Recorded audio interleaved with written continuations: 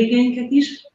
Niklán Ildikót, aki a jó könyvnek a szerzője, illetve Neszár, bocsánat, nem Neszár Sándor, de Szavú Sándor, csak ugye neki nagyon sokféle neve van, de most a Csimota kiadó szerkesztőjeként van itt, és nem íróként, mert ugye Neszár Sándor az a íróneve, csak én így szoktam meg Sanyát.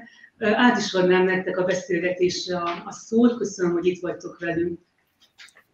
Nagyon szépen köszönjük. Uh, akkor engedjétek meg, hogy egy picit, uh, mielőtt én Ildikót megkérném, hogy bemutatkozzon, én is egy kicsit uh, bemutatkozzam, és nem a magamat mutatnám be, hanem a kiadót. Uh, én a Csimota kiadónak vagyok az egyik szerkesztője, remélem sok könyvünket ismertek, és igazából uh, mi egy kis kiadó vagyunk, ez 2003-ban alakult a Csimota kiadó, és a Csányi Dóra főszerkesztőnk akkori egyik alapítója, és hát lényegében neki kéne ezt a beszélgetést igazából véghez folytatni, de most én ugrom be helyette, úgyhogy most én fogok majd beszélgetni Lipták Ildikóval, aki egy, akkor már kezdjük is egyből, most nem is mutatok egyből, nem is mondok, kérdezek, hogy mindig, amikor ezt egy kis ilyen háttérinformációnak mondom nektek, hogy ha egy kiadóban hogyan érkeznek kéziratok. És általában két, hát inkább három út van. Az egyik az, amikor az embert elkezdik bombázni mindenféle kéziratokkal, így küldezgetnek nagyon sokféle kéziratokat. Van ez, amikor egy ismerősünk ajánl valakit, és úgy jut el hozzánk egy kézirat, meg van a harmadik, amikor mi kérünk egy szerzőt, hogy küldje nekünk kéziratot. És Ildikóval én nagyon arra, az nekem határozottan bennem van, de lehet, hogy én már rosszul emlékszem, úgyhogy föl is teszem, a, a, föl is teszem azt a kérdést, mielőtt kibontanánk azt, hogy te hogyan, hogy jutottunk el odáig, hogy te küldtél nekünk szöveget a Csimota kiadónak, hogy kérlek segíts egy kicsit föleleveníteni a hallgatóknak, hogy hogyan és milyen körülmények között küldtél el nekünk először egy kézirat változatot? Jó. Ennek az a, az a háttértörténete, hogy egy csimotás szerzővel, Borbát Péterrel én egy, egy irodalmi rendezvényen találkoztam, ahol egy portugál szerzőnek a könyv bemutatója volt, ahol, amit az én barátnőmben sem Monika fordított, és én, én ott, mint ilyen felolvasó ember voltam, tehát így felolvastam részleteket a könyvből. A Borbát Peti pedig moderálta a beszélgetést, egyébként Afonso, Afonso Cruz, aki a szerző.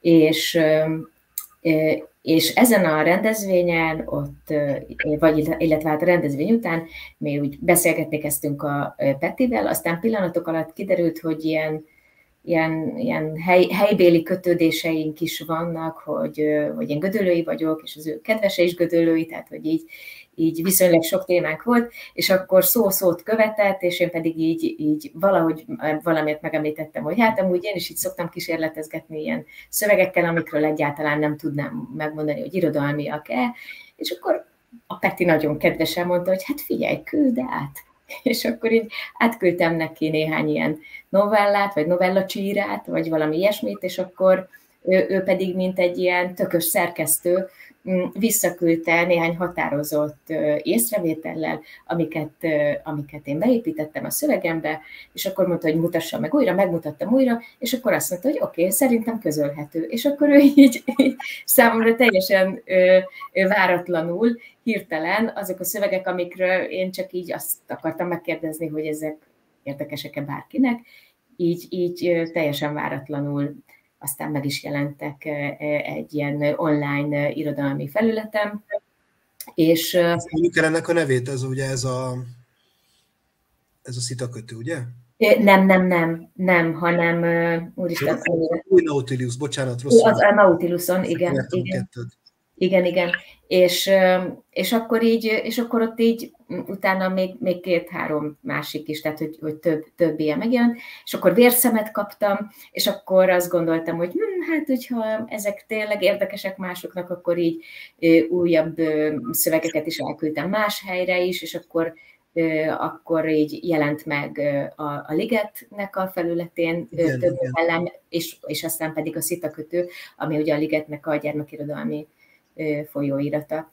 És akkor, mivel akkor nálatok már publikált meseregényt a Peti, Borbát Péter, így amikor én elkezdtem dolgozni egy, az, az első ilyen ifjúsági regényemen, a nyári nyomozáson, akkor az már eléggé kézenfekvő volt, hogy őt kérdeztem meg, hogy van-e ötlete, hogy mi lehetne ennek az útja, hogy esetleg lássa olyan, aki kiadással foglalkozik, és akkor ő szólt nektek, hogy szerinte, szerinte nézzétek meg. De ő egyébként előtte meghozta, tehát ő, ő, ő megnézte, hogy ő vállalná ezt, és akkor így így mondta, hogy igen. Na ezt, tök, ezt e, ennyire nem tudtam a háttérsztorit, csak annyit tudtam, hogy Borbát Peti keresztül jutottál el hozzánk, és ezt, ezt így nektek mondom, hogy szóval sajnos azért, azért azt látni kell, hogy nagyon sok minő, tehát nagyon sok gyenge minőségű szöveg jut el egy kiadóba, de aztán az mindig jó, hogyha kapunk olyan szöveget, hogy megküldi az ember, és hát megnézi az ember, és akkor így megnyitod, és akkor mint szerkesztő látod, hogy beleolvasol, hogy hm, hát az egész jó, végigörgeted, ó, jó hosszú, hát az, az nem annyira jó, azzal sok időt kell foglalkozni. Alapvetően azt így jó látni, hogy ránézel egy szövegre, és azt így, azt így azért azt el lehet nagyon egybekezdés alapján dönteni, hogy azért ezzel érdemes a foglalkozni. És az Ildikója szerencsére ilyen volt.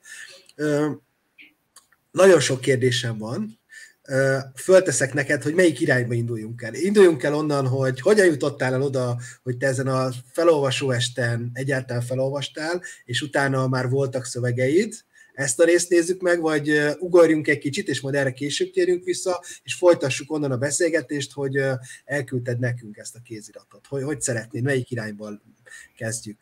Hát lehet egy, ez az unalmas lineáris, hogy... Jó, oké, okay. akkor 1900 valamennyit írunk, Gödöllő, megszületik Lipták Ildikó. Igen, uh, 50, most már 51 éves leszek idén, tehát 72. 72 vagy, igen.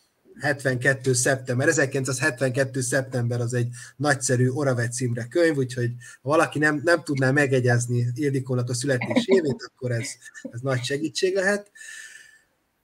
Gödöllőn nőttél föl, és hát ott születtél, ott is nőttél föl, ugye? Igen. Hogy lesz valakiből előbb színésznő, majd nem igazi színésznő, hanem színház terapeuta színésznő, hogyan lesz aztán olyan valaki, aki felolvas és ír is? Emlékszel, van, van-e olyan pont, amikor úgy érzed, hogy neked most a színház felé kell nyitni? Hát... Ezt még soha senki nem kérdezte tőled.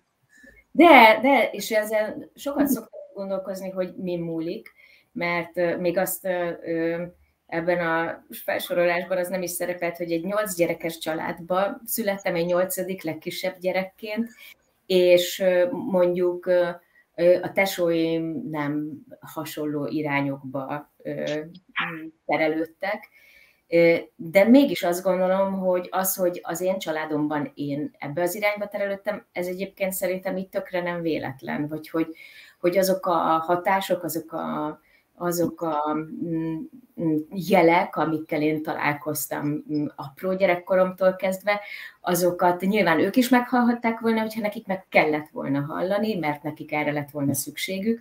Tehát nekem volt szükségem, hogy meghalljam ilyen. Hát egyrészt Egyrészt nyilván azért gondolhatjátok, hogy egy nyolc gyerekes családban, még ha úgy is volt, hogy négy nagy gyerek volt, meg négy kicsi gyerek, tehát hogy így két nagy projektet vittek így végig a szüleim, hogy azért mindig baromi sok meló van egy háztartásban, de ennek ellenére az anyukám egyáltalán nem volt rest így estéről estére mesét olvasni nekünk, és szerintem, szerintem ez egy tényleg egy olyan alapélmény, amire azért is bátorítanék mindenkit, mm, és az én mm, amúgy nyilván többre érdemes, de nyolc általános végzett anyukámnak ez ez egy ez természetes dolog volt, és, és nagyon szeretett olvasni, és, és olvasott is sokat, saját magának is, hogy szóval, hogy, hogy, ez, hogy ez szerintem ez egy iszonyatosan jó és erős alapot ad bárkinek.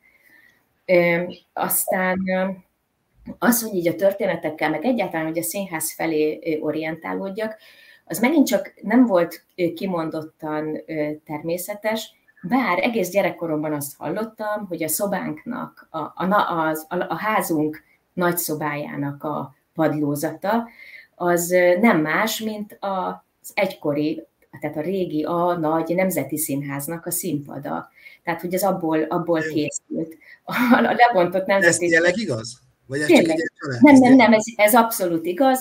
Apukám nem tudom, hol dolgozott akkor, de amikor lebontották a nemzetit, de neki ott, mm, szóval, hogy, hogy akkor őt oda szólította a munkája, és akkor így ezeket a bontási cuccokat, ezeket így ugye egy, volt, amit így el lehetett vinni, többek között a színpadot, és akkor így ez a, ez a családi ház ez most, most is megvan, és a nagyszobában most is a Nemzeti Színháznak a padlója a padló, és, és akkor így, amikor mi ott előadtuk a művészetünket a tesóimmal gyerekkoromban, akkor így apukám ezt mindig megjegyezte, hogy hát igen, nem véletlen, hogy ti ezt csináljátok, mert hát ezen a színpadon a Gobbi Hilda meg a Blaha Luisa ugrált csillagom. Szóval, Egy gyors kérdést, mi volt az előadtuk a művészetünket, ezt mondtad, ez mit jelent? Hát, hogy szavaltunk, énekeltünk, és másoknak ezt el kellett viselni. De hogy ezt úgy kell elképzelni, hogy minden este volt egy... Hát nem minden este, nem minden este, de, de azért nem fogtuk vissza magunkat. Tehát különösen Györgyi nővéremmel mi, mi rendszeresen csináltunk ilyen kis előadásokat.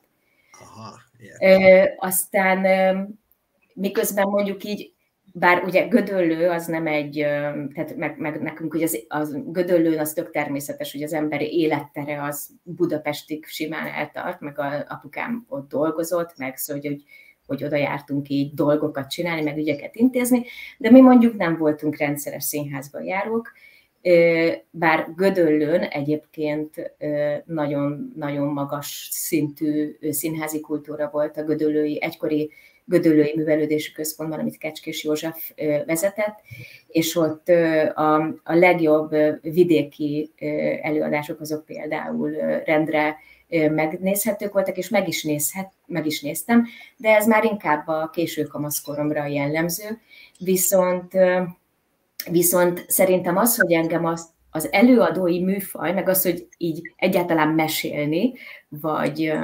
vagy, vagy előadni egy történetet, annak szintén egy ilyen családi, emblematikus eseménye a háttere, hogy szerintem én még olyan három éves lehettem körülbelül, vagy nem sokkal több, amikor a legidősebb bátyámtól és a feleségétől, vagy akkor lehet, hogy még csak a mennyasszonya volt, karácsonyra egy bászínházat kaptunk, és az átadás az úgy zajlott, hogy ők az ő kis szobájuknak a ajtónyílásába felállították a bábparavánt, és a hozzátartozó piroska és farkas kollekcióval adták át, tehát hogy ők eljátszották nekünk a piroska és a farkast, és hogy így ez, ez egy, ez komolyan mondom, hogy ez egy ilyen abszolút életre szóló élmény volt, hogy ez, ez nagyon durva. Ez, tehát, hogy, ez, hogy ilyet, ez, ilyet kéne csinálni mindig, minden nap. Ez, szóval hogy szerintem ez, ez sokkal erősebb hatással volt rám, mint mondjuk az, hogy később elvittek az új Nemzeti Színházba valami tragikus előadást megnézni, amikor, amikor már úgy kezdett kialakulni bennem az, hogy hú, én lehet, hogy valami ilyen színészféle, vagy valami olyan szeretnék lenni, aki történeteket mesél másoknak, de amikor elmentünk oda, és megláttam ott egy előadást, akkor azt gondoltam, hogy ja, hát ha ez ilyen, akkor inkább mégse. Aha. Ez sok, sok esetben pontosan ugyan, ugyanezt elmondhatjuk az irodalom kapcsán is, hogy van az embernek egy nagyszerű élménye otthonról, mondjuk egy nagyszerű olvasmányélmény, vagy amit felolvasnak, vagy akár saját maga is olvas valamit, és majd az iskolában mutatnak neki egy olyan dolgot, hogy azt mondják, na ez irodalom, ezt tessék szeretni, mert ezt 200 éve, 300 éve valaki írt. Ez nem jelenti azt, azt, hogy valaki korábban 200 évvel ezelőtt írt valamit, de a legtöbb esetben olyan szövegeket próbálnak az iskolában lenyomni a torkunkon, ami hát mindenre alkalmas, csak arra nem, hogy kedvet és örömöt okozzon nekünk, és kedvet hozzon a, az irodalomhoz. Egy kicsit még maradva a színházas vonalon, mert ez, ez szerintem nagyon izgalmas, és egy kicsit így a linearitást azért csak megtörném, hogyha ezzel nincs gond, hogy hogy ha most lenne arra lehetőséged neked, hogy azt a feladatot kapod, hogy Magyarország színház kultúrájának fölemelése, de akkor, és lenne lehetőséged arra, hogy minél több középiskolába, vagy akár általános iskolába is eljussál, akkor te, te hogyan közelítenéd meg a dolgot, és ezt azért kérdezem, mert valami, valami nagyon hasonlót csináltok amúgy ti is, egy kicsit más szemszöggel, hogy de most csak így maradjunk azon, hogyha neked a színházat kéne népszerűsíteni, akkor ezt te hogyan közelítenéd meg? Hát teljesen biztos, hogy pont úgy, ahogyan csináljuk a Kerekasztal Színházi Nevelési Központtal a mindennapokban. Nekem az a, az a fő munkám, az a munkahelyem 30 éve, hogy színházi nevelési előadásokat hozunk létre a munkatársaimmal, amikkel így, így nagy vonalakban a közoktatás teljes spektrumát látjuk el az utóbbi 10 mm, tizen pár évben már különösen, tehát hogy tényleg egészen nagy spektrumot, olyan színházi előadásokkal, amelyek komplex színházi nevelési előadások, és attól komplexek, hogy olyan interaktív szakaszok vannak, vagy olyan részek, vagy olyan interaktív környezetben van az egész előadás, hogy nem így hozzá van rakva egy beszélgetés, vagy egy utólag egy foglalkozás a, a, a színházhoz, hanem a, az interakciók is a színháznak a részét képezik, tehát dramaturgiai és tartalmi és, és az egész történet felfedezése és kezelése értelmében, tehát mondhatjuk, igen, használhatjuk ez a legjobb szóra, hogy dramaturgiai értelemben, az interakciók is a részei a, a programnak, és, és ebben a, a, a résztvevők, akik egyszerre nézők is, és résztvevők is, teljes, a, a teljes intellektusukkal, és reményeik szerint a, a, az, az érzelmeikkel is ö, nagyban vesznek részt, és hatással vannak az előadásra, és reméljük, hogy nem csak az előadás van rájuk hatással. Aha. Én nem tudom egyébként, Sanya és többiek, hogy, hogy ez a színház kultúrának a felemelését szolgálják-e. Nem hiszem. Szerintem ez a, ez, ez a ez inkább, inkább fordítva van, tehát hogy, hogy nem ettől, amúgy a, amit mi csinálunk, az szerintem kimutathatóan nagyon nagy hatással van a színházi kultúrára. Tehát az, hogy, az, hogy ezt mi 30 éve elkezdtük, és egyre, egyre um, többet csináltuk mi is, meg egyre többen csatlakoztak hozzánk, és nagyon sokan csinálnak már hasonlót, az, az szerintem tökre lehet látni, hogy a színházi kultúrára, de szerintem még a teljes kulturális területre is az, hogy, az, hogy, az, hogy, az, hogy interaktivitás legyen, azt gondolom, hogy erre igenis nagyon nagy hatással volt a kerekasztal munkája, és van is a mai napig is hatás, hatása a kerekasztalnak. De, de szerintem ettől nem biztos, hogy jobb lesz a színház mondhatom, hogy lehet, hogy demokratikusabb lesz, vagy lesznek olyan előadások, amik demokratikusabbak lesznek, vagy, vagy könnyebben, vagy bátrabban kísérleteznek a színházi alkotók azzal, hogy a nézők tényleg ne, ne csak ilyen üres mm, nem tudom, poharakként legyenek jelen, akibe így bele lehet tölteni valamit, és akkor majd reméljük, hogy nagyon jól megértik a rendezői szándékot, hanem, hanem hogy egy picit ők is hatással tudnak lenni a történetre, ami meg nem csak egy ilyen kreatív dolog, vagy nem csak kreatív szempontból jó, hanem azért is, mert hogy az, aki abban tud gyakorlatot szerezni, hogy hatással lehet egy történetre, az lehet, hogy egy idő után elhiszi, hogy az saját élet történetére is, meg a saját társadalmára is tud hatással lenni, hogyha tényleg tesz és nem csak várja mindig, hogy valami majd történjen, és majd valakik mások megteszik helyette. Szóval, hogy szerintem az, az emberekre ez hatással tud lenni, meg a fiatalokra. Tudunk is erre számos példát, hogy, hogy hogyan volt és van hatással, individuálisan is, meg közösségekre is, de, de mondom, szerintem a színház azért nem ettől, nem ettől lesz jobb azt lehet, hogy nem is ebből a beszélgetésből fogjuk meg, meg, megtudni, meg nem is ez a mi mostani beszélgetésünknek a tétje, hanem engem most nagyon megragadott az az egy mondatot, hogy mondtad, hogy, hogy sok esetben a színházi előadás az úgy tekint a nézőére, hogy ez egy üres pohár, és akkor, a, hogy akkor abba, hogy beletöltik őt, amit gondolnak. Viszont ezt a szimbólumot én nekem ez nagyon tetszik, és egy kicsit kibontanám, hogy uh, akkor mondtad, hogy a te poharadba, akkor a Nemzeti Színház deszkája az otthonról ott volt, az már be, beletett a te üres poharadba, beletett ez a piroska és a farkas báb színházi előadás, de akkor még három-négy éves körül vagy, Mik voltak azok akkor, ami még szerinted olyan dolgokat tettek bele a te poharadba, hogy az aztán olyan szinten megtelt, hogy te a színház múzsájához léptél? Hogy, mi, mi volt még, ami, ami, ami szerinted így inspirált téged? És mert mondtad, hogy ugyan, ugyan ugyanabban a közegben ott voltak a testvéreid, ők meg erre nem voltak olyan, olyan nyitottak, hogy van olyan, hogy esetleg erre szoktatok is mm, mondjuk beszélgetni, hogy van olyan dolog, hogy például az a bábszínház, az így visszatérő történet a ti ilyen családi legendáriumotokban, vagy ez neked volt ennyire fontos? Ö, majd most a következő családi összejövetelem meg fogom kérdezni, de én említettem nem régiben ezt a bátyáméknak, akiknek ezt köszönhetem, vagy nem is, vagy lehet, hogy már régebben is említettem, de hogy valami, valamiért ez feljött a közelmúltban. Mm, a Györgyi nővérem, akit említettem már az előbb is, ő két és fél évvel idősebb nálam, és egyébként neki is volt valami kis orientációja.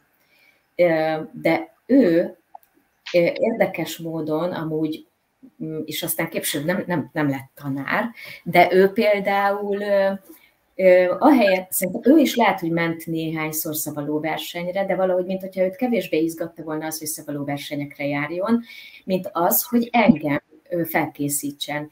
És azt nem tudom, hogy miért, de tehát, hogy, hogy jó, nyilván ilyen sok tesó mellett valahogy túl, nagyon hamar megtanultam olvasni, tehát úgy mentem iskolába, hogy tudtam, és akkor ettől aztán én lettem a felolvasó kislány nagyon hamar, és és akkor ugye, aki szépen olvas fel, akkor, akkor azt küldik egy szavaló versenyre is, tehát hogy, hogy ezek ilyen, ezek, ezek, ezek olyan folyamatok, ahogy valahogy, amik valahogy így jönnek, és akkor, és akkor aztán nyilván volt, voltak ilyen szavaló versenyes sikereim, és akkor utána pedig ennek következtében keveredtem bele egy gödölői még először nem is egy ilyen szí, teljesen színjátszó csoportba, de a félébe, egy ilyen versmondó stúdióba, ahol mégiscsak ilyen előadás félét. Ez már középiskola, ugye?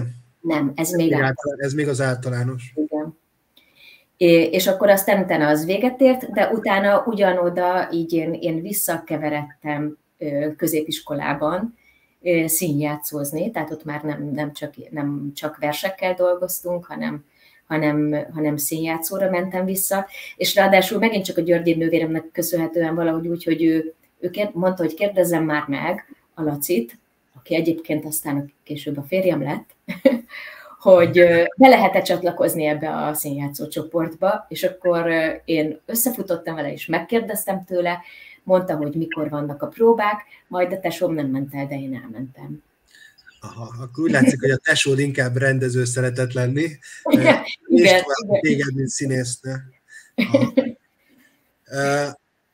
A szavaló versenynél nem, nem tudom, mert megmondom őszintén, hogy mindenféleképpen szerettem volna, hogyha majd a, a legújabb könyvedről, a Csak neked akartunk jót, arról beszélgessünk, de annyira izgalmasan és akár akaratlanul is fölvezetted ezt a szavaló versenyes részt, úgyhogy mielőtt így elkezdenénk egy kicsit szépirodalmazni, akkor tedd már meg nekünk, hogy felolvasod ezt a, hát ez nem is egy teljes fejezet, mert és akkor azért vezessük fel a könyvet, mert hogy aki esetleg nem olvasta, bár gondolom mindegyen olvastátok, van olyan, aki, van, van valaki, aki nem olvasta esetleg, egy kicsit interakció nevében. Nyugodtan föl lehet emelni a kezet, majd ki, kihomályosítjuk. Van, aki nem olvasta a könyvet?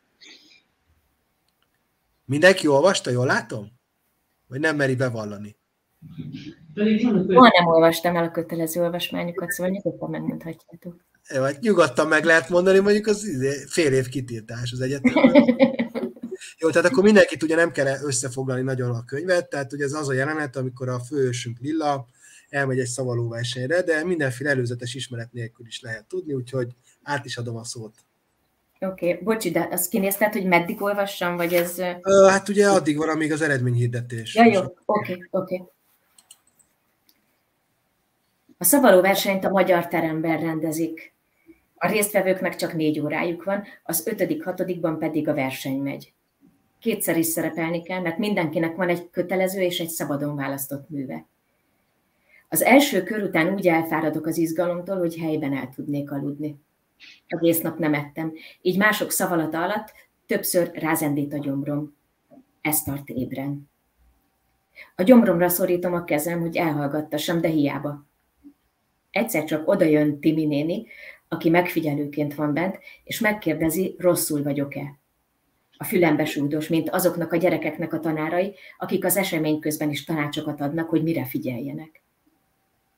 Minden rendben, köszönöm. Fáj a hasad? Nem, de ebben a pillanatban megint hatalmasat kordul a gyomrom. Akkor jó, mondja, és kimegy a teremből. Két perc elteltével visszatér, és egy szalvétába csomagolt pogácsát tesz elém, majd visszaáll a fal mellé. Onnan figyel, és mutatja, hogy egyek. Nagyon vicces, ahogy többször is megpróbálja némán eljátszani. Inkább csippentek és bekapok egy darabot, csak ne kelljen szegénynek újra ilyen bénán mutogatnia. A szabadon választott vers közben jön egy pillanat, amikor hirtelen mindent elfelejtek. De szerencsére nem úgy, ahogy az egyik lánya C-ből, hogy csak állt és mukkanni sem tudott, sőt még akkor sem szólalt meg, amikor a tanára többször is odasúgta a következő sort, hanem úgy, hogy képtelen vagyok előre gondolkozni, hogy mi lesz a következő verssor. Minden részlet csak abban a pillanatban jut eszembe, amikor ki kell mondani. Van ebben valami egészen félelmetes, de izgalmas is. Az eredményhirdetésnél egymás mellett ülünk Laurával, és azon gondolkozom, milyen jó lesz edzésre menni. Laura meg úgy izgul, hogy megfogja és szorítja a kezemet, mintha hat évesek lennénk. Az értékelésből kiderült, hogy a legtöbb gyerek nem először vesz részt ilyen versenyen, és lám pompásan be is tudják építeni a korábban megszerzett tapasztalataikat. Nekem mindegy, hogy mi lesz az eredmény, mivel még soha nem voltam, és meg sem mondtam otthon, hogy most részt veszek rajta. Legalább nem kérdezgetnek majd, ha hazamegyek. A harmadik helyezettel kezdik a nyertesek kihirdetését. Laurát szólítják. Vele együtt örülök, már csak azért is, mert nem kell tovább kibírnom, ahogy a kezemet szorongatja. Az én tenyerem mindig nagyon száraz, az ővé viszont nedves. Most az izgalom miatt valósággal lucskos. Miközben átveszi a díjat, a pad alatt a két kezemet nézegetem. Teljesen másképp néz ki a szárazon maradt bal tenyerem, mint a jobb, ami alaposan felázott a nedves szorításban. Nagyon hülye érzés, hogy így különbözik a kettő, mintha fél pár zokni lenne rajtam, vagy az egyik orjukamon nem kapnék levegőt. Mivel a jobb kezemet hiába törölgetem a nadrágomba, megpróbálom egy picit benyálazni a balt, hogy a különbség legalább így kiegyenlítődjön. Épp a szám előtt tartom a markom, amikor tiszta erőből oldalba könyököl Laura. Nem hittem, hogy látszik, mit csinálok, de gyorsan abba hagyom. De akkor megint. Ez már kissé dühít. És még rám is szól. Menj már ki! Mi van? Hülye, téged hívnak. De addigra már Timi néni is hozzám lép, és a tanári asztal felé tessék el. Adnak egy könyvet, amiből kilóg az oklevél. Úgy keveredek vissza a helyemre, hogy még mindig nem értem, mi történt. A pad alatt kihúzom a kemény lapot, hogy elolvassam, miért kaptam jutalmat. Az oklevélen az áll, hogy első helyezést értem el. Alig bírom ki nélkül. Aztán eszembe jut, hogy a tanár, aki kezet fogott velem, most biztos azt hiszi, hogy izgultam, azért volt olyan nedves a tenyerem. Ezt egy kicsit sajnálom. Na hát köszönjük. Hát ez, uh, annyira jó volt hallgatni, mert uh, megmondom őszintén, azért kértem, hogy ezt a részt olvast föl, mert ezt előre megbeszéltük most, hogy ez majd ezt fogod olvasni, de tök jó, hogy szóba került, mert uh, mert szerintem ez a rész mutatja a legjobban azt, hogy nekem, mint olvasó, az nyilván ad egy plusz információt, hogy a szerzőnek köze van valahogy a színházhoz, de, de hogy ezeknél a részeknél nagyon-nagyon lehet azt érezni, hogy ez annyira hiteles, és az teljesen mindegy, hogy ez azért hiteles, mert hogy ez neked van ezzel kapcsolatosan személyes élményed, hanem egyszerűen ez így úgy van átélve, hogy én szeretnék szavaló lenni, pedig hát minden, csak, tehát ez nagyon távol áll tőlem. De hogy ez annyira jól átadja ezt a, ennek a lélektanát, És hogy akkor egy kicsit ezen a vonalon maradva,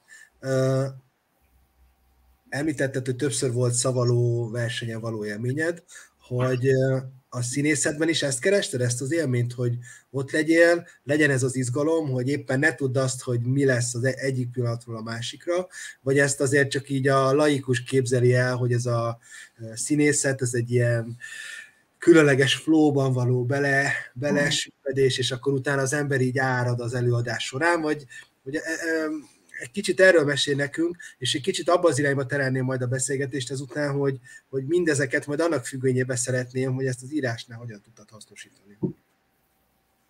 Hmm, hogy igen, az volt ez a, kérdésed, hogy a színészetben is valami, hogy ilyesmit kerestem -e. Igen. Ö, egyébként sose gondoltam erre, de de ez, ez, ez nekem nagyon jó, és, és hogy, hogy az, nem, nem tudom, hogy, hogy ezért mentem-e, vagy ezért keveredtem-e ide, de imádom ezt az érzést, és ez még most is így működik, hogy amúgy nem vagyok valami rettenetesen jó szövegtanuló, de, de hogy akkor, amikor, amikor így kezdődik egy előadás, és, és van az emberben egy izgalom, ez még, nem tudom, a közelmúltban is pont volt egy ilyen alkalom, amikor már tudtuk, hogy mindjárt kezdünk, és én mondtam a kollégáimnak, hogy basszus, fogalmam sincs a szövegről.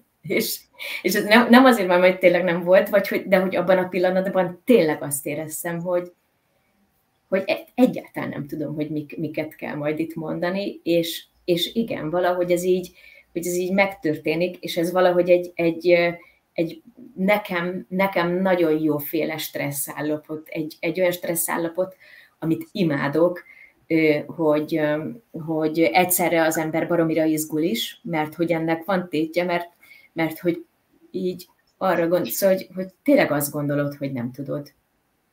És, és hogy valahogy a, attól meg, hogy így beindul az egész gépezet, és és, és jönnek a szövegek, és jönnek a kollégám szövegei, meg jönnek a cselekvések, és a többi, és akkor abban a pillanatban tudnak azok a szövegek jól megszületni, és, és az tök jó, hogy három mondattal előbb még nem jutott volna eszembe, vagy nem tudom, hogy majd azt kell mondanom, és ez egy, és, és ez sokkal jobb, féle tudati állapot szerintem a színpadon, mint amikor így lazán mm, csettintésre el tudnám mondani az összes szövegemet.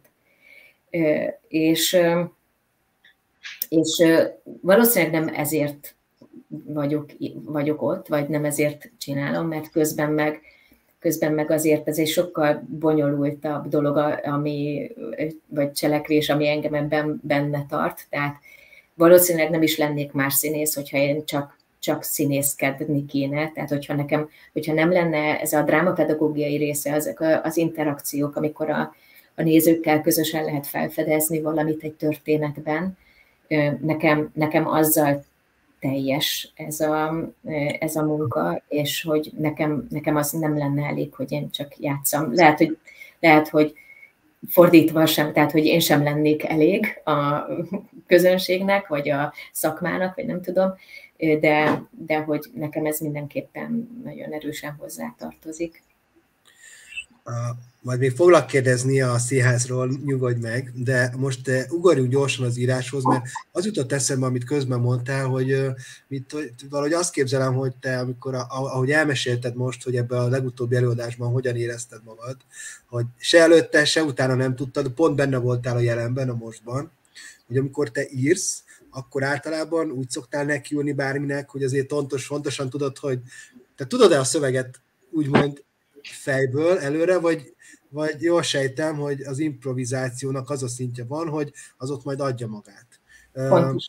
Jól Pontos. sejtem. Akkor, akkor, akkor köszönöm a választ. Akkor következő kérdés, hogy, hogy hogyan tudod a, mert azt gondolom, hogy a színházban ott ugye nem egyedül vagy, ott vannak a többiek, ott nyilván azért az fölkészít a szituáció, meg a tudod, hogy meg kell csinálni.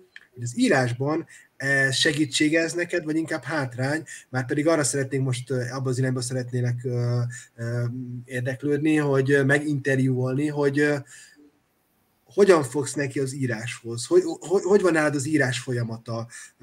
És akkor egy kicsit még bonyolítom a kérdést, mert jó, bonyolultakat teszek föl, hogy amikor a legelső szövegedet írtad, amire már azt gondoltad, hogy ez már jó lesz, hogy ott, akkor annak mi, mi a körülménye? Van ennek valami kiemelt sztoria, vagy ezt a színház miatt folyamatosan kellett neked szövegekkel foglalkozni? Ö, amúgy én mondjuk nem írtam, korábban legalábbis nem írtam például színpadi szövegeket. Írtam elég sok szakmai publikációt, tehát olyan, amik másoknak is segítenek abban, hogy mondjuk ők egyedül levezessenek egy drámafoglalkozást, és akkor ehhez írtam sok elméleti, meg gyakorlati anyagot is. És még akkor is, hogyha korábban nem írtam, azóta már írtam kettő darabot, akkor is azt gondolom, hogy ez a színházi munka ez mindenképpen nagyon erősen befolyásolja az én munkámat. Azt nem tudom, hogy lehet-e érzékelni, vagy, vagy szó, hogy ennek bármi lenyomata van-e, vagy csak az én idegrendszeremben kapcsolódik össze, vagy kapcsolódnak össze ezek a tevékenységek. De, de hogy az, hogy, hogy egy szereplőnek a szerepébe, egy karakterbe, egy szituációba belehelyezkedni, és hogy azt, azt abból beszélni, vagy azt képviselni nagyon erősen, az, az biztos, hogy, hogy, hogy így jön ebből a fajta színházi és színházi nevelési gyakorlatból és munkából. És nagyon szívesen kísérleteznék majd egyszer azzal, hogyha újra képes leszek megülni a fenekemen, és, és írni, hogy, hogy, hogy, hogy mondjuk ne csak ezt az én központú narratívát vigyem, Aha. hanem hogy, hogy kipróbálni azt, hogy, hogy tudok, tudok-e egy írói narratívát is képviselni, és nem csak a főszereplőit. Ja, tudsz, mert értem szerint, hogyha ezek nem működnének, akkor nem működne ez a, a csak neked akartunk jót, mert ott ugyan a felületes olvasó azt gondolná, hogy ez csak egy szereplőnek a nézőpontja, de nem, tehát a többi nézőpont is úgy van, csak ez nem így szerepel. Tehát, hogy te tudsz, úgyhogy megnyugtatlak, úgyhogy emiatt ne legyen. Egy kicsit még vissza, mert engem mindig is érdekelt az írásnak a ilyen technikai részlege, hogy te, amikor írsz, akkor hogyan szoktál írni? Sajnos nekem nincs ilyen, tehát az, hogy, hogy így én, én Többek között ezért sem tekintek magamra íróként, mert nekem nincsen ennek ilyen kialakult gyakorlata, meg nincsen az, hogy én rosszul vagyok, ha nem írhatok, vagy... Hát nem vagy rofomán, oké. Okay. Ezt, ezt Igen, nem, nem vagyok ö, egyáltalán. Ö, hogy, ö, hogy az van, hogy, hogy folyamatos, az tény, hogy folyamatosan jár az agyam ö, különböző sztorikon. Ö, van egy fantasztikus, csodálatos, nagyszerű ö, ö, ö, ö, hát az Egyesült Királyságban élő és dolgozó drámapedagógus, aki és, és dramaturgként is dolgozik, Cecily O'Neillnek hívják, aki, aki egyszer így mondta, hogy, hogy hát tulajdonképpen nem csinálunk mi mást, hogy, hogy folyton feltesszük magunknak azt a kérdést, hogy what if? És hogy, szóval, hogy tényleg, tényleg egyébként én mindig azon kapom magam, hogy az ilyen nagyon egyszerű élethelyzetekben is azon gondolkozom, hogy most mi, lett, mi lenne, ha, vagy mi lett volna, ha ez nem ér itt véget, vagy hogyha, hogyha az, a, az a helyzet egy kicsikét tovább megy, vagy, vagy nem sikerül elkerülni azt, amit sikerült elkerülni, vagy, vagy valami ilyesmi, és hogy ezek nekem folyamatosan ott pörögnek az agyamban. Ö, és, és akkor hát van, amiben sajnos így kielégülök, hogy ezen így egész buszúton ezen gondolkoztam, van, ami, van, amiben meg nem elégülök ki, és akkor úgy elkezdek vele valamilyen módon kísérletezni, mondjuk egy szöveggel, szövegben így le, leírni, és akkor hagyom félben, vagy nem hagyom félbe, szóval... Papírra írod, telefonba, gépbe, Wordbe, milyen, mi a te metódusod? Van, van egy, van egy e-mailezésem magammal, ami, ami nagyon-nagyon sok részes már, amiben vannak ilyen kósza ötletek. Ezek a például útközben buszon, villamoson, vonaton, stb. ezeken a helyeken felírt ötletet. Megírtad, megillotted, megcímzett saját magad, és elküldöd magadnak? Igen. És Igen. tájba beleírsz? Azt Orsitól kérdezem, a tájmezőbe beleírsz valamit? Nekem ez egy egy ilyen levelezésem van magammal, úgyhogy ez már nagyon hosszú. És, és akkor ez a re Igen, pontosan. Ah. És az a tárgy, hogy azt hiszem, hogy ötletek, vagy valami ilyesmi a, a, a tárgya, hogy így könnyen meg lehessen találni és, és van az éjjeli szekrényem mellett is, és akkor vannak a, a legzseniálisabb. Van az éjjeli szekrényem mellett is, az mit jelent? Ja, ott vannak, vannak cédulák, vagy ilyen cédulák, lapok, mindig van egy ton, és akkor ezek, ezek a kevésbé jó ötletek. A, a, a zseniális ötleteim, azok, amikről azt gondolja az ember, hogy fú, hát ez olyan jó, ezt nem lehet elfelejteni hát azok mind mennek a levesbe. Mert hogy azokat, azokat nem írom föl sehová, biztos szarok egyébként. Csak hogy azok úgy, úgy akkor úgy elsőre olyan nagyon jó ötletnek tűnnek, és akkor így azt gondolom, vagy, vagy mondjuk nem, tehát hogy nem egy ilyen légből kapott ötlet, hanem egy már megkezdett sztorival kapcsolatos, ahhoz, ahhoz kapcsolható, vagy ahhoz jól, jól fűzhető ötlet, ami tényleg nagyon jónak tűnik, első blikre, és akkor azokat nem szoktam felírni ezért, mert annyira jónak tűnik, hogy nem létezik, hogy nem jut eszembe. A, de, de, akkor, soha, de soha többé nem jut eszembe. Akkor megvan az ötlet, és akkor utána ezt így beírod, elkezded írni folyamatosan, és akkor így egyre növekszik, növekszik? Többnyire igen, de aztán mindig eljutok egy olyan mm, szakasz, ba, amikor, amikor az van, hogy, hogy azt érzem, hogy nem, ez most, ez most nem következhet, tehát hogy egy dramaturgiailag lineárisan nem, nem illeszthető ide, de ez még jó lesz valamire, és akkor vannak ilyen kisebb szövegtestek, amik, amik aztán születne, megszületnek, amiknek aztán vagy lesz helye, vagy, vagy nem lesz helye, de, de akár arra, hogy az ember nem tudom, egy picikét turáztassa magát, vagy aha, fedezze aha. fel azt a területet, vagy figurát, vagy helyzetet, arra azért mégiscsak jó. És uh, akkor picit ugye ott, hagytunk, ott hagytunk el téged, mert azért párhuzamosan megy a történetet, hogy uh, a szavaló versenyek után akkor volt ez a uh, beugró színészkedés, mert elmentél a tesót helyett, és akkor ja. lehet, hogy az így az, az ott maradt, és akkor ugye ez már középiskola, és uh-huh. akkor a középiskola után jön a kerekasztal, ugye? Igen. Akkor uh, már, mert, mert, mert említetted, és hogy inkább engem abban a részében az érdekelne, hogy, hogy amikor ti ezt megalapítottátok, akkor sejtettétek, hogy az lesz belőle, ami lett az elmúlt x év alatt, vagy teljesen másképpen képzeltétek el, hogy ez mi lesz majd?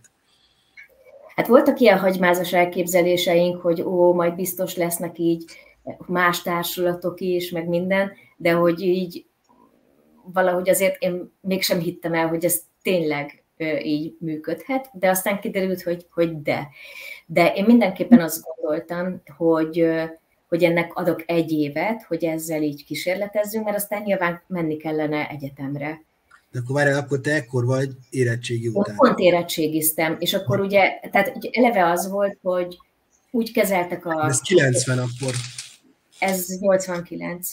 Aha. Úgy kezeltek a középiskolában, hogy, hogy hát a lipták az biztos a szín, majd színész akar lenni, és akkor a színművészetére megy. Én meg így, így nem nagyon értettem, hogy miért gondolják ezt, hogy én az akarok lenni, de nem nagyon akartam bevallani, hogy nem, mert elég sok kedvezményt kaptam egy közgazdasági szakközépiskolában, hogy hogy így, hogy így megbocsátottak nekem dolgokat, abban a reményben, hogy ő majd biztos színész lesz, és akkor majd egyszer felemlegeti nekünk, hogy milyen rendesek voltak, hogy nem buktattak meg ebből se, meg abból se. és akkor... Hogy eljátszottad azt a színésznőt, aki azt a színésznőnek a szerepét játsza, akkor azt hiszik, hogy színésznő? Igen, de közben az van, hogy, hogy ez már... a főiskolára jelentkezni?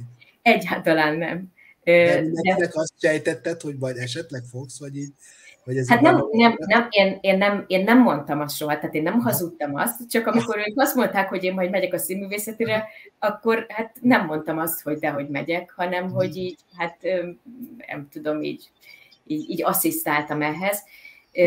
De, de hogy így, én baromira élveztem a színjátszást akkor is, meg hogy így azt gondoltam, hogy ez egy, állati értelmes dolog, és, és, és, és nagyon jó, és talán nem csak nekem jó, hanem hogy néha azoknak az embereknek is jó, akik megnézik az előadásainkat. Tehát, hogy, hogy nem, nem hülyeség ez, de hogy az, hogy én a színművé, tehát hogy én nem tudtam magam elképzelni a színművészeti fő, akkori még főiskolának nevezett intézményben, egyszerűen nekem nem volt szimpatikus. Semennyire. Mondtad, hogy adtál egy évet, és akkor mi volt a B-terv? Hát azt, hogy majd biztos elmegyek magyar szakra. Ja, magyar szak. Igen, mert hogy az, hogy itt történeteket olvasni, meg esetleg nem tudom kitalálni, meg ilyenek, ez mondjuk, ez, ez szintén érdekel. Az, és hogy, szóval történetekkel foglalkozni, ez, ez tök nyilv, ez, ez nyilvánvaló. De akkor, te, akkor írtál akkoriban, vagy, vagy akkor az írás maga az nem volt? Vagy? Nem, nem nagyon volt jellemző az írás, de azért csináltam ilyen partizán akciókat még, még korábban is, hogy hogy ha mondjuk olyan kreatív feladat volt a suliban, ami nekem tetszett, akkor, akkor másét is megírtam. És, hát ilyen bérírást vállaltál? Igen. Tehát ez a... de, de, nem, de nem fizettek érte, tehát csak... Nem, csak úgy megcsináltad. Tényleg élvezetből csináltam. Például volt ilyen, és akkor még viszonylag kicsi voltam, szerintem ilyen 10-12 éves, hogy volt valami már nem emlékszem a pontos feladatra, csak arra, hogy én hamar megcsináltam az enyémet, mert eléggé inspirált, és utána eszembe jutott még egy ötlet, hogy milyen jó lenne ilyen a gödöllő legöregebb embereit felkutatni, és akkor őket megkérdezni erről, arról. Aha. És akkor, mivel én már az enyémet megcsináltam és beadtam, ezért így mondtam az egyik osztálytársamnak, hogy hát én ezt nagyon szívesen megcsinálnám még, és akkor azt megadja be ő. És persze hát egyébként az lett a nagyobb siker. Aha, aha. és de kicsit dű, dühös voltam miatta, hogy ezt így elhamarkodtam, de, de nem baj, mert maga az, az akció meg baromi jó, jó volt, és tényleg tök, tök jó ötlet volt, meg izgi volt azt a 97 éves bácsit meginterjúvolni. Szóval... Aha, akkor adtál magadnak egy évet. Igen, ad, igen adtam magadnak egy évet, de, de persze még azért annyira biztos nem voltam benne, hogy mi akarok lenni. Egy kicsit a tanítás is vonzott, vagy inkább azt nem, nem. Tehát, hogy pont nem a tanítás vonzott, de az, hogy így emberekkel dolgozni. Tehát, hogy attól is féltem, hogy majd így az ember elmegy bölcsésznek, és akkor az lesz, hogy akkor így nem tudom, mit fogok csinálni. Ez, ez, ez is egy, egy kicsit ilyen...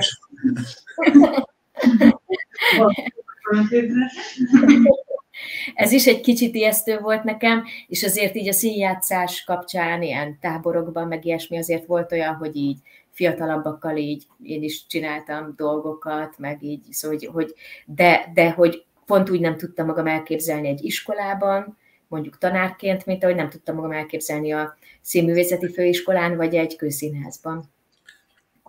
És akkor az lett, hogy ahogy így kezdett a kerekasztal egyre jobban identifikálódni, meg hogy kiderülni, hogy, hogy ez mi is ez a színházi nevelés, amit, amivel mi így kísérletezünk, és egyébként egy éppen már leáldozóban lévő angol módszert adaptálunk, így, így az lett, hogy, hogy, hogy így egyre jobban bele ástam magam, és akkor nem tudom, csak körülbelül két vagy három évvel később mentem el, tehát iratkoztam be egy levelező egyetemre, mert hogy nyilván azért közben az is feszített, hogy, hogy azért az nem pálya, hogy ezt nem csinálom. És otthonra volt nyomás, hogy akkor tanulni kell tovább menni, vagy ilyen, vagy, ez, vagy, az, vagy, vagy mit szóltak így a szülők? Mert, mert most így a, a, az most mondtad, hogy inkább arról szólt a te életed akkor, hogy mi nem, és hogy akkor ez a kerekasztal még gondolom annyira nem látszódott, hogy az mi, az, hogy az mi valójában, hogy így nem volt ilyen így a környezet felül ilyen nyomás, hogy na, azért valami rendes az, hogy, az, hogy most, az, hogy most mindenképpen egyetemre menjél,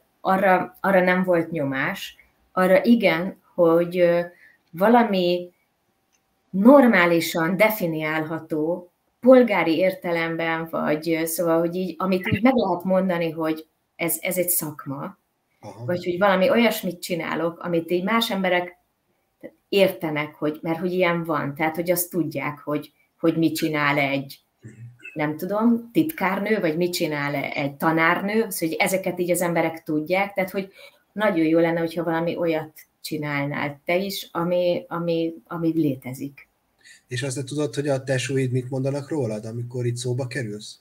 Hogy te, az Ildikó nevű hugunk, vagy nővérünk, vagy te vagy, várj, az nincs, hogy akkor, akkor mit mondanak rólad? Nem tudom.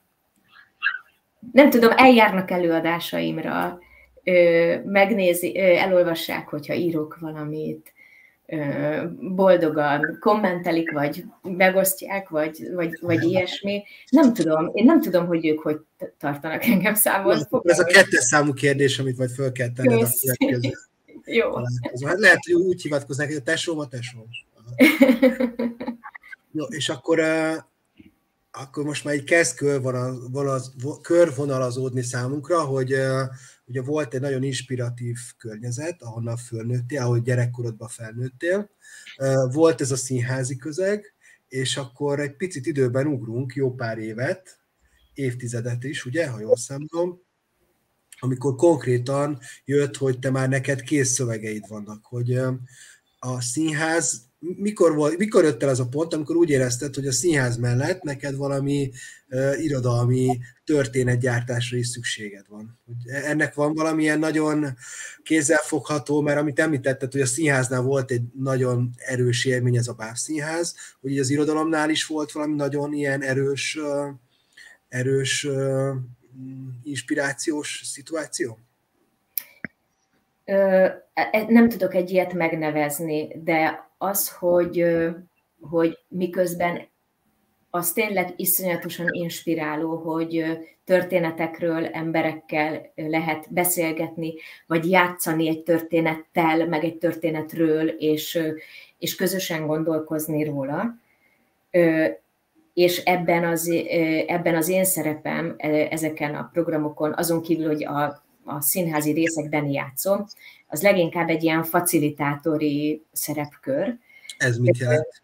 Ez azt jelenti, hogy, hogy azért ugye mindig pont az a lényeg, hogy ne én mondjam meg a tutit, hanem hogy, hogy én mindig csak, mindig csak ö, ö, segítsek, és, és asszisztáljak ahhoz, hogy a, hogy a résztvevők tudjanak, a, tudják az igazi kreatív munkát beletenni az interaktív részekbe, és hogy ők, ők alakítsák, és ők mondják meg, nem tudom, arra gondoltam, hogy, hogy lehet, hogy, hogy, hogy, hogy miközben azért az embernek nyilván neki is, nekem is vannak ötleteim, meg gondolataim, de azokat mindig vissza kell tartani. Lehet, hogy valahogy abból az igényből is lett, hogy én is elmesélhessek így kompletten egy történetet, úgyhogy, úgyhogy nem kell megkérdeznem másokat, hogy ők mit gondolnak róla, vagy hogy szerintük hogy legyen, hanem hogy legyen olyan történet, ami így teljesen az én felelősségem, hogy, hogy mi lesz belőle. De ez, de ez lehet, hogy ez csak egy ilyen agyalmány, nem tudom. Az is lehet, hogy ez egy, ez egy teljesen mm, ilyen normális önvédelmi mechanizmus a kiégés ellen, mert azért azt, hogy nem tudom, 31 éve csinálom ezt a kerekasztal dolgot, az alatt azért tökre ki is lehet, lehet vagy lehetne égni. És nyilván van olyan, amikor én is nagyon elfáradok, de az, hogy, az, hogy nagyon sokféle dolgot van lehetőségem csinálni, például az, hogy ha akarok, akkor írhatok, vagy, vagy tanítok, vagy nem tudom én, ezek azért nagyon megvédenek a, a kiégéstől is. Tehát, hogy mondjuk, hogy, hogy több, többféle identitást mm, ba bújhatok, vagy, vagy bújhatok mögé, vagy, vagy használhatok. Ez lehet, hogy egy ilyen sima önvédelmi mechanizmus. Uh, akkor egy, ez, ez nagyon, nagyon érdekes, amit mondasz, mert elhangzott az a szó, hogy na végre van egy történet, amiben nem szólnak bele ez az én történetem lesz. A, a szép irodalom kiadói szempontból és szerzői szempontból, ezt jó, hogyha ti is tudjátok, az mindenről szól, csak nem arról, hogy az embert hagyják, hogy azt csinálja, amit akar, idézőjelben, mert nyilván ez a te szöveged lesz, Tehát amikor elindul egy szerkesztési folyamat, az, azt én pontosan tudom szerzőként is, hogy azért azt, azt így nehéz megélni. És te hogyan élted meg azt, amikor mondjuk már, mondjuk említetted a Borbát Petit, aki a Sünder és Nirú sorozatot írta a, a Csimotánál, hogy, hogy amikor már igazi komoly szerkesztő, mert ugye a stációk azt szoktak lenni, az ember megmutatja a legjobb barátjának, hát az el van halva, Jenny, Nobel-díjat már el is küldte neked, megmutatod még egynek, neki is, fú, nagyon jó, és akkor jön egy szerkesztő, aki, hát aki így a, az megdicsér, hogy ez egy tök jó, meg minden, de aztán felsorol tíz olyan dolgot, hogy a körmöd alatt ott van a tüske, és ö, először fáj, amiket mond, de aztán rá kell jönnöd, hogy hát tök igaza van. Hogy te ezt hogyan szoktad megélni lelkileg, vagy ez neked hogy, hogy szokott lenni? Nekem marha nagy biztonságot ad. Aha. Szóval, hogy, hogy, hogy többször, nem tudom, volt már, hogy így kérdezték, vagy még, még korábban így mondták, hogy te nem akarsz, hát esetleg nem tudom, inkább ilyen szerzői kiadásban, vagy ilyesmiben gondolkozni, és hogy, hogy, hogy nem. Tehát, hogy azért nem, mert azt gondolom, hogy minden szövegre ráfér a szerkesztés, és, Ez így van. És egyébként e, ebben a színházban is abban szocializálódtam, hogy nem az van, hogy majd én kitalálok egy történetet, felmászok a színpadra, előadom, hanem hogy ehhez, hanem hogy ehhez vannak egy csomó partner kell hozzá, hogy az egy tényleg nézhető, vagy, vagy vállalható, vagy mások számára is értéket képviselő dologgá tudjon válni, ahhoz, ahhoz számos ember szükséges. A többi színész, a többi alkotó, maga az alkotási folyamat, ami egy csapatmunka, tehát hogy én, én, én, én, én abban szocializálódtam, hogy csapatban dolgozom, és nekem nagyon jó érzés, hogy kapok visszajelzést egy szövegről, Hát a könyvkiadás is egy csapatmunka, ugye, mert elkezdjük először a szerzővel, megcsináljuk a szerkesztés során, akkor utána az illusztrátorral is, jön egy korrektor, jön egy nyomdai előkészítő, magák a nyomdászok, tehát mindenki beleteszi a munkáját, nagyon sok embernek a, a munkája. De az nem nagyon sok ember munkája, amikor kipattan a fejedben egy ötlet, vagy éppen, hogy is mondtad, hogy egy olyan ötlet, amit végül nem felejtettél el, nem a saját öncenzúrát nem törölt meg, meg is írtad magadnak a levelet, hogy a első könyvednél, a nyári nyomozásnál van egy olyan konkrét sztori, vagy olyan pillanat, amire azt mondod, hogy na, ez hívta létre ezt a könyvnek, ennek az ötletét. É, igen. Van. hát tulajdonképpen kettő is van. Az egyik, egy, az, hogy, hogy ez, a, mm, ez, a, ez, egy, nagy, ez egy teljesen normális fejlődés lélektani állomás, amikor az ember ilyen 10-11 éves korában elkezd azon gondolkozni, hogy, hogy hogy kerül ő ide ebbe a családba. Ez nyilván a, ez a prepubertásnak egy ilyen normális mm, szakasza, és a fejlődési folyamatnak egy, egy teljesen egészséges állomása, amikor az ember elkezdi felülvizsgálni, hogy, hogy ezek az emberek, akik ennyire különböznek tőlem, szóval hogy ezekkel hogy kerülök én össze, hogy tényleg mi, és akkor hát így normális, teljesen normális, hogy megfogalmazódik az ember fejben, hogy lehet, hogy nem is ide születtem, mert itt valami tévedés van, nem is ők a szüleim, Ja, azért nem engedik meg nekem a nem tudom én micsodát, mert nem is szeretnek? Hát azért nem szeretnek, mert mert nem ők a szüleim, szóval, hogy, hogy ezek, ezek tök normális gondolatok.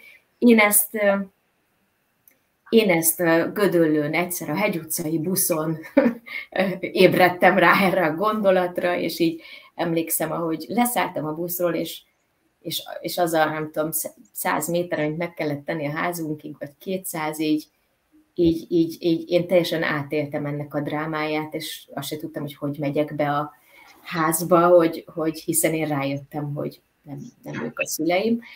És van egy későbbi, egy... És akkor ez így, de ez így hány éves vagy akkor? Hát ilyen 10-11. Aha, tehát akkor, aha.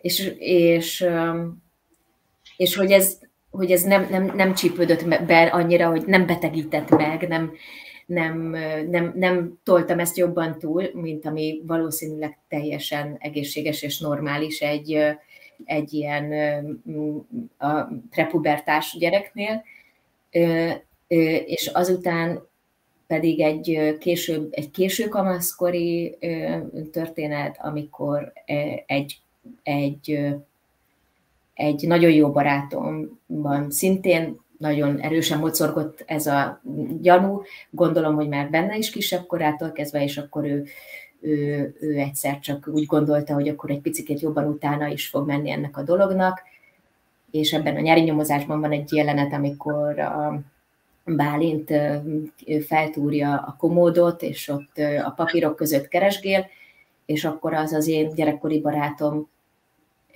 hát nála nem úgy végződött a történet, ahogy a Bálintnál, hogy megtalálta a rendes, normális születési anyakönyvi kivonatát, hanem, hanem az a barátom azt a papírt találta meg, ami tényleg azt alátámasztotta az ő, ő szörnyű gyanúját, hogy, hogy, hogy az, édes, az, apuk, az apukája az nem is az édesapja, és, és hát ez egy eléggé szomorú történet lett, és nekem ezzel is így, így, így, azt, így, így kellett valamit kezdenem, mert hogy ez a könyv, aki nem olvasta, ez a nyári nyomozás, ez a, amit említetted, a Bálint nevű fősről szól, akinek van ez a sejtése, hogy mi van akkor, hogyha őt örökbe fogadják, és akkor így, hát ő nyáron elkezd saját maga után nyomozni, és hát így ebbe belehergeli magát ebbe a szituációba.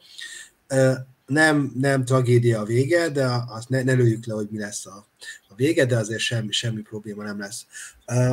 Megjelent ez a könyv, és te volt már egy ilyen félmondatok, meg ezt interjúban is olvastam tőled, hogy én nem tartom magam írónak, hogy, hogy ezután, amikor ez megjelent, akkor, akkor milyen volt így a színházhoz képest így a fogadtatás? Mert ott gondolom, ott azért már van tapasztalatod, hogy milyen, amikor van egy új előadás, vagy egy új helyzet, azért nagyon hasonló a színház meg a könyvkiadásnak a világ abból az értelemből, hogy, valaki csinál valamit, sokan dolgoznak rajta, aztán jönnek kritikusok, akik mondanak róla ezt-azt, aztán ennek vagy lesz következménye, vagy nem, és a végén mindig ugyanott van az ember, az irodalomban is, meg a színházban is, hogy te saját magadat nem tudod megnézni, miközben játszol, esetleg felvételről, de hát az nem ugyanaz. Az ember a saját szövegét nem tudja elolvasni, mert te tudod, hogy az miről van szó. Nagyon sok időnek el kell tenni ahhoz, hogy azért el tudj távolodni.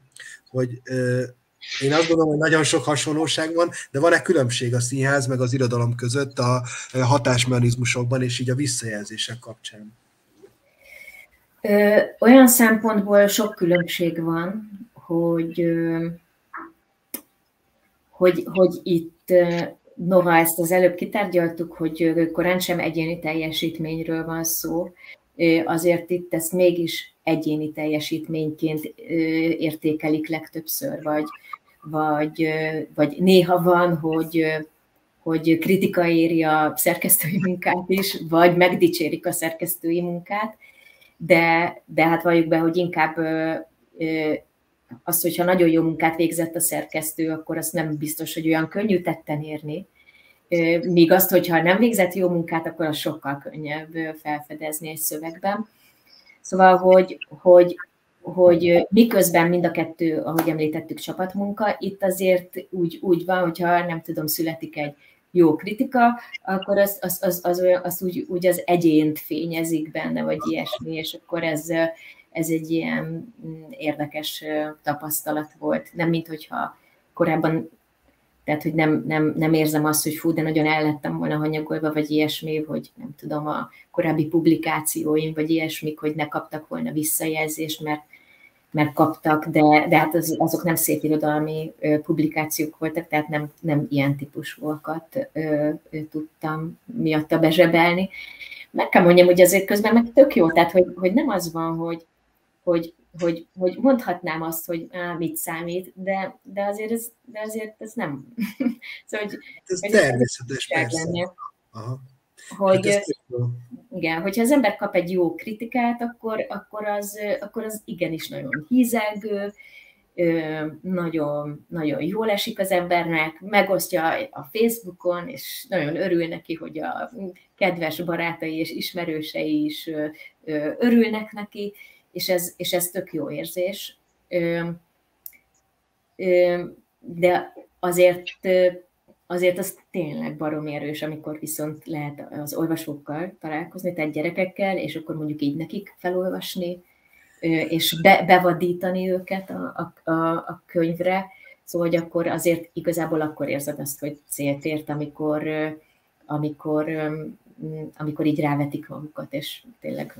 Akkor, akkor egy kicsit mesélj erről nekünk, mert ha jól tudom, de nagyon sokszor voltál már, volt, volt egy felvidéki túrád is, ahol nagyon sok helyen voltál, hogy ez hogy kell elképzelni egy ilyen estet, vagy egy, egy ilyen alkalmat, pontosabban nem is est, egy alkalmat, amikor te elmégy, akkor nyilván előveszed a zsebedből a színházból hozott dolgokat, de ugyan pontosan nem lehet azt, mert most ugye itt a könyvedről van szó, hogy, hogy ez hogy szokott kinézni, hogy, hogy hogy szoktad ezt csinálni?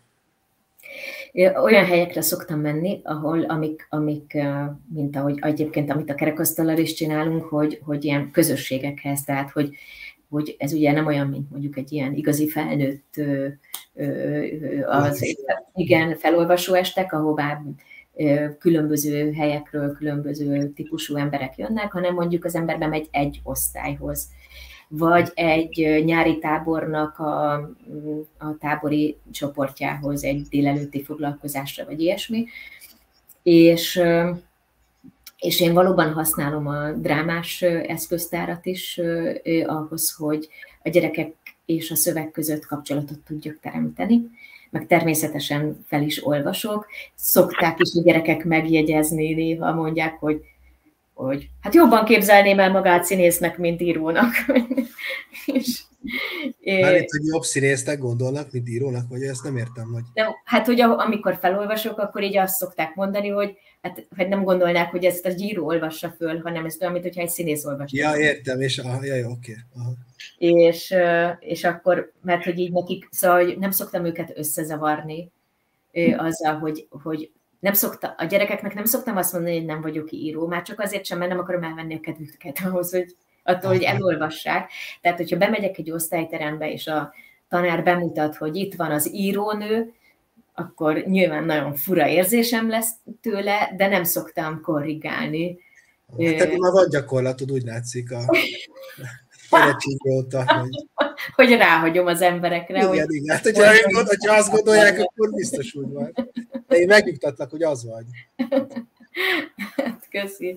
De hát, az, hogy az életmódomat tekintve sem. És akkor, így, e, akkor most meg ennek fényében már értem, tehát akkor jól megdicsérnek, hogy olyan vagy, mint egy jó színésznő, amikor felolvasol. I- igen, igen, igen. Ezt gyakran szokták a gyerekek mondani és akkor, és akkor így szoktam nekik mondani, hogy hát igen, foglalkozom ilyesmi dolgokkal is, de, de hogy akkor azért elsősorban tényleg így a, a regényel foglalkozunk, és például, tehát a, a, a nyári nyomozásnál szoktam azt csinálni, hogy ott egy olyan szállat bontok ki a gyerekekkel, ami ami, ami nincsen megírva pontosan, ott a tábor körül, a táborban, ott egy, van, elmegy egy nyári táborba is a, fő, a főhős, és akkor az egy ilyen nem, nem teljesen neki való tábor, és akkor ott az a, a, a körüli feszültségekkel szoktam még játszani a gyerekekkel, és alakítjuk közösen a történetet olyan részt, ami nincs kibontva, nincs megírva a könyvben, és akkor abban így meg is szoktunk állapodni, hogy hát ez tök jó, mert ez mondjuk, ha nem tudom, milyen jó lenne ez a három és feledik résznek, akkor ez kész is van, és ez tök jó. A, a csak neked akartunk jótnál pedig én, én kihasználom azt, Jásdi Júlia grafikus, és, és nagyon, nagyon izgik a, a rajzok, tehát hogy, hogy ilyen sok olyan rajz van, ami szerintem ilyen többfenekű, és sokféle dolgot is jelenthet, és akkor, hogyha, hogyha olyan a, a csapat, kb. szerintem így a 90%-ban olyan közösségekkel találkoztam, ahol még nem olvasták a regényt, akkor, akkor valamennyit szoktam felolvasni belőle, és a rajzokkal szoktunk foglalkozni, hogy, hogy így kiosztok nekik rajzokat, és akkor ők találjanak ki hozzá történetet. vagy, vagy készítünk hozzá jelenetet, vagy, vagy ilyesmi, és, és, és igen, így ezzel, ezzel szoktunk. Te melyik részt szoktad felolvasni, ha csak te akartunk jótból?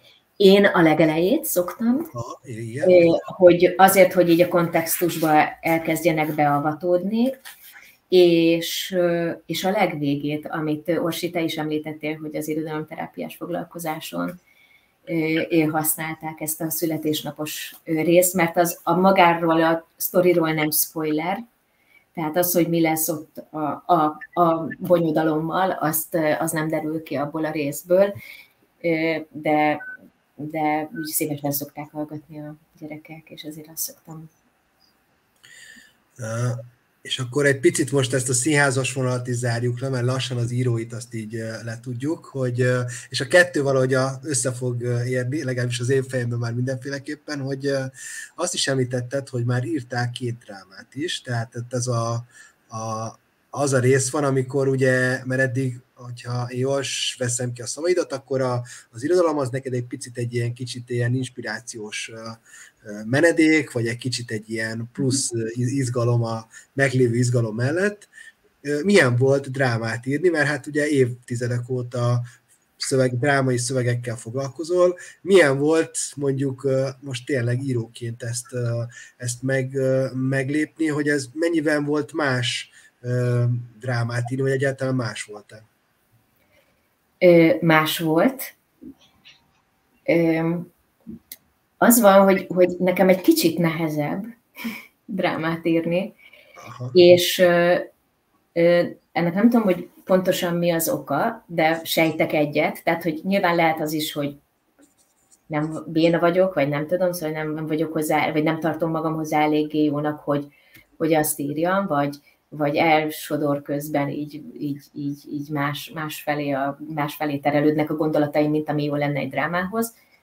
Illetve az, hogy, hogy, hogy amiért nem tartom magam írónak, hogy ez tényleg egy ilyen menedék, vagy inspirációs forrása, hogy említed, vagy hogy tényleg ilyen kvázi hobbi, hogy megengedhetem magamnak, hogy akkor én most ezzel foglalkozzam, és akkor ez így tök jó, hogy abba el lehet menekülni, olyan, mint egy nagy nyaralás, egy nagy, nagy, nagy kaland, amikor azt csinálok, amit akarok, és ez a két mm, színpadi szöveg, amit pedig írtam, ezek, ezeknek meg nagyon komoly tétje van, hogyha ez, hogyha ez rossz lesz, akkor ezzel, nem tudom, megkeserítem a kollégáim életét, hogy egy rossz szöveggel kell foglalkozniuk, vagy, vagy, vagy úristen, mit, mit fog, hogy lesz ez elég jó a, a gyerekeknek ahhoz, hogy ezzel, ezen keresztül tényleg felfedezhetnek valami igazán nagy, jó dolgot a világról mert hogy ezek, ezeknek, ezeknek mind a két alkalommal, amikor írtam ezeket a szövegeket, valami olyan perspektívája is volt már.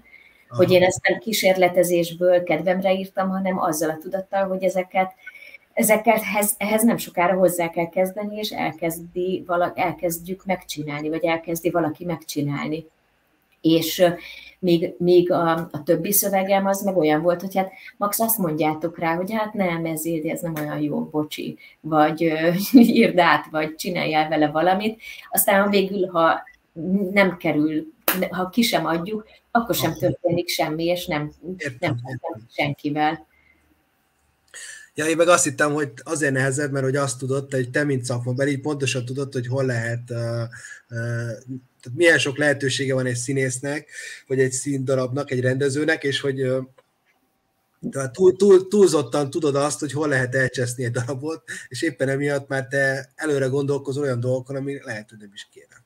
De lehet, hogy az csak az én én... Egyébként lehet, hogy, val- hogy valami ilyen is működik, de hogy, de hogy közben, de hogy ez, ez szerintem kevésbé. Én még egy dolgot szeretnék kérdezni, és utána lassan már a többieket is szerintem próbáljuk bevonni a beszélgetésbe, hogy, hogy te nagyon sok mindennel foglalkozol, hogy te, te mikor mondod azt magadnak, hogy elégedett vagyok? Te mikor érzed magadat elégedetnek, mikor érzed magadnak, hogy valamit, amit elterveztem, hogy az sikerült? Hogy neked ez, ez mikor jön ezzel a pont, vagy mik, mikortól van ez? Hogy hú, ezek az igazán rövid ideig tartó állapotok akkor szoktak bekövetkezni, hogyha valamit sikerül befejezni például. Tehát, hogy, e, hogy nagyon sokszor van az, hogy olyan dolgot csinálok, ami úgy, mondjuk a színház is ilyen, ami jó esetben egy darabig egyre jobb lesz. Tehát, hogy, hogy egy előadásban egyre otthonosabban mozogsz színészként, egyre inkább az lesz, hogy, hogy ott tudsz lenni abban a világban, és már az idegrendszered így nagyon rá tud arra állni, és akkor azok így tök jók. De valahogy az, az, az, az mégis mindig egy ilyen, majd hogy nem vége érhetetlen folyamat. És, és nagyon ritka az, hogy, hogy az lesz, vagy, vagy, vagy mint nem tudom, mint mondjuk egy, egy ilyen normális tárgykészítő mesternek például, hogy akkor befejez egy munkát, és akkor, hogy az készen van. Öm, öm, hogyha ha jól kitakarítom a lakást.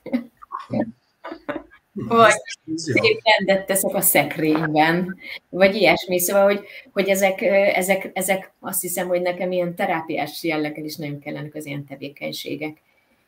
De, de, de hogy elégedett vagyok akkor is, hogyha tényleg így valamilyen szinten mégiscsak mondjuk egy projektet, vagy egy munkát befejeztünk, és, és azt lehet látni, hogy vagy érzékelni, inkább azt mondom, vagy úgy lehet, úgy az, azok az intuícióim, hogy így, vagy, vagy többen, akik benne voltunk is, mind azt mondjuk, hogy nagyon sok jó dolog volt ebben, vagy hogy így lehetünk ezzel elégedettek, akkor, akkor vagyok az.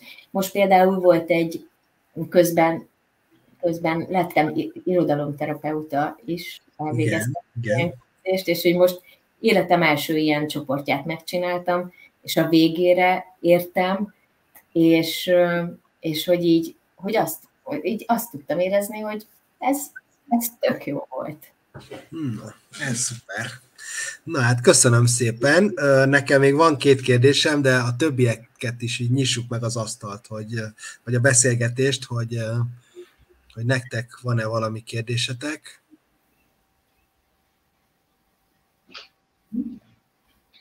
Nekem az lenne a kérdésem így a címmel kapcsolatban, hogy mennyit szenvedtél azzal, hogy ezt a címet kitalált nekik, hogy ez előre meg volt esetleg, vagy utána folyamatosan visszaolvastál, vagy, vagy a többieket kellett megkérdezni, hogy hogy volt ennek a folyamata? Hú, hát azt hiszem, hogy erről köszi, ez, ez, ez nagyon betaláló a kérdés nálam. Mert mm, nagyon rossz címadó vagyok. Nem csak a Csak neked akartunk jót nála, hanem már a nyári nyomozásnál is ez egy, azt kell mondjam, hogy ez egy tortúra volt. Volt olyan szakasza a címadási diskurzusainknak, amikor, amikor szinte megbántam, hogy ebbe az egészbe belefogtam, mert azt éreztem, hogy, hogy az életben nem fogok olyan címet találni, amivel elégedett leszek. És akkor és akkor az volt, hogy szerintem küldtünk egymásnak, így, így, így írogattam így naponta 3, 4, 5, 10, 30 címet, címjavaslatot. Elküldtem a Sanyának és a Dórának, és, és nem nagyon tetszett nekik. Talán egyet-kettőt ti is javasoltatok.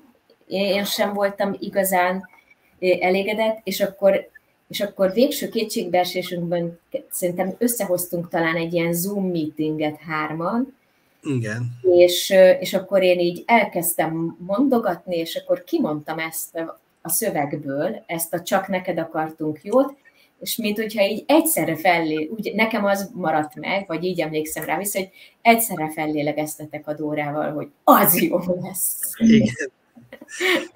Ja, mert sokáig ez a lilla története úgy volt a, úgy így volt a fejünkben ez a szöveg, de ez tényleg, ez tényleg ami tök érdekes, mert van, amikor a cím van meg legelőször, van, amikor meg a cím jön ki a legnehezebben. Ennél már csak fülszöveget nehezebb írni az embernek a végén, legalábbis nálunk ez, ez így szokott tenni.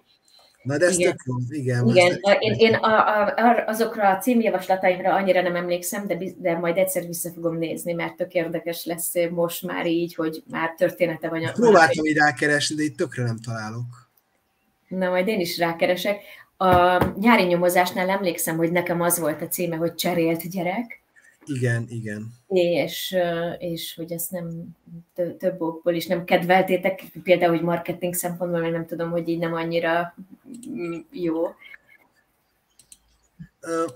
Ez tök nehéz, mert nyilván a Csimota kiadó nem az a kiadó, amelyiknél a elsődleges szempontok a marketing szempontok lesznek, de hogy sokszor egy címnél azért nagyon szóval egyszerre kell nekünk fölkelteni a figyelmet, de nem is lehet nagyot blöffölni.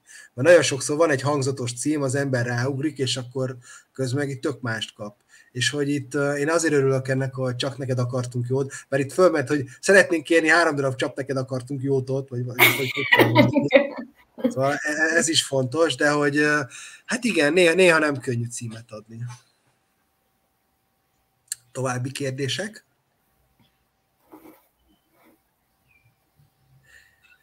Igen. Nekem az lenne a kérdésem, hogy így szerintem azért tök izgalmas ez a szöveg, pont így a komplex színházi nevelés szempontjából, hogy egy csomó helyen nyitva hagyja a szöveg, hogy hogy pontosan akkor hova is fog kifutni a lányok viszja, hogy, hogy esetleg ilyenben gondolkodott-e már, hogy, hogy ezt elvinni egy ilyen, egy ilyen előadás, megcsinálni bele egy jelentet, és akkor azt ilyen komplex színezni nevelés szempontjából, mondjuk akár a, a szegénységkérését, akár ezt a picit ezt a bullyingolás témájába elmenőt, amivel azért úgy szoktunk hadakozni. Én magyar drámatanának készülök, úgyhogy hogy így szoktunk hadakozni ezzel a témával, hogy akkor hogyan is kellene érzékenyíteni, és szerintem ilyen szempontból ez tök érdekes lenne, hogy ők milyen irányba futtatnák ki ennek a történetnek a végét, és ugye erre volt-e ötlet esetleg, vagy lesz-e ilyesmi? Én egyáltalán nem gondolkoztam ilyesmiben. Valaki említett már, nem tudom, hasonlót, hogy szerinte ebből lehetne, de azt szerintem, hogyha valaki ezt igazán komolyan gondolná, vagy igazán inspirálná, akkor bármikor foglalkozhatna vele. Biztos lehetne ezzel is, mint ahogyan sok más epikus történettel szokott időnként így kikezd a színházi nevelés, de, de engem nem inspirál, hogy én ezzel foglalkozzak. Én foglalkoztam eleget ezzel a szöveggel, mhm. hogyha valaki más, mást így fölizgatna, akkor nem lenne ellenemre, de, de engem, engem nem, nem vonz, hogy én ezzel foglalkozzam. De egyébként tényleg biztos, hogy, biztos, hogy lehet, meg hogy, hogy, de olyan szempontból meg egy kicsit nekem féle, félő, hogy, hogy pont ezek a témák, hogy bullying, meg, meg ilyesmik, egyfelől iszonyatosan fontos témák, és nagyon kell velük foglalkozni, másfelől meg nagyon-nagyon könnyű valami didaktikus mm, dologba belecsúszni velük, és nyilván izgulnék, hogy mm, nehogy megtörténjen vele. Nem tudom, hogy, nem tudom, hogy mások, hogy, hogy esetleg erről is gondolják-e, hogy, hogy, hogy didaktikus, de én pont, pont azzal akartam kísérletezni, hogy lehessen úgy beszélni erről a témáról, hogy ne legyen annyira fekete-fehér, vagy ne legyen olyan egyszerű. Én megnyugtatlak, ne, nem didaktikus a szöveg, az semmiféleképpen nem, mert pont a Lillának a, a, a a Lilla pozíciója az az a pozíciója, aki egyszerre bullyingolt, meg egyszerre tehát agresszor is, meg tehát bántalmazó, meg bántalmazott, na ezt a szót kerestem. És hogy nála ott jön meg a fordulat, amikor ő ezzel szembesül, és hogy ettől ő nagyon rosszul érzi magát, és szerintem ezáltal tud tök jól érzékenyíteni ez a könyv. Úgyhogy, úgyhogy ezekről nem beszéltünk, lehet, hogy beszélhetünk volna, de hogy ez, ez egy tök fontos dolog, és tök jó, hogy így rákérdeztetek. Igen? Nekem is, amit ezzel a bullyinggal kapcsolatban lenne egy kicsit kérdésem, hogy az, hogy bekerült a történet végére, hogy úgy Kingának és a másik lány, most hirtelen nem teszem be a nevet. Tündi. Tessék? Tündi. Igen, igen, hogy az ő szüleikkel ugye történt ez a bizonyos incidens, ez egy ilyen kicsit ilyen revans Dilla számára, hogy ugye a lányt úgy ugye bullyingolták, és hogy ez egy ilyen, hát lehet, hogy csak én képzeltem bele, hogy egy ilyen úgymond ilyen megnyugtatás számára, hogy most ő is elszenvedett sok rosszat a lányok miatt, de most a lányok is elszenvednek mind a ketten viszonylag ilyen rossz dolgot, vagy lehet, hogy ezt már csak én látom vele is, úgyhogy ezzel kapcsolatban. hogy szerintem revanse ez a, ez a, ez a Liliana? Nem tudom, hogy az-e. nem tudom, hogy, hogy látod, vagy hogy látja, nem tudom, hogy itt remélem tegeződhetünk, hogy, hogy te hogy látod, hogy ez, hogy ez, hogy ez megnyugtató lehet egy gyereknek? Az egy zárójelben megjegyzem, zseniális, hogy átpasszolod a kérdést, de kíváncsi vagyok a, kíváncsi vagyok a válaszodra. Szerintem bizonyos szinten igen, mert hogy ugye az, hogy ugye nincsen úgy teljesen kimondva, de szerintem Lillát, ugye az is azért eléggé így dühít, és hát nem dühít idei belül marcangolja, hogy ők ugye nincsenek olyan anyagi helyzetben, mint ez a másik két lány. És az, hogy még ráadásul úgy bilimbolva is van, még ugye magának ezt sem meri, még magának se bevallani, de szerintem amúgy így neki egy kicsit ilyen hát nem is az, hogy úgy, úgy megnyugvás, de hogy úgy egy ilyen, ilyen élettől való kiegyenlítődés, hogy aha, én is vettem azért elég sok rosszat, de azért nem csak mindig én szenvedek, hanem mások is. Tehát, hogy nem azt mondom, hogy benne van egy ilyen káröröm, hanem így magának egy ilyen életfelfogást ad, hogy oké, okay, elszenvedtem sok rosszat, de tovább kell lépni, mert hogy ez van, és ugyanúgy rossz dolgok másokkal is történnek. Szerintem, és én most ebbe belegondolva én erre tudok konklúzióként kijutni.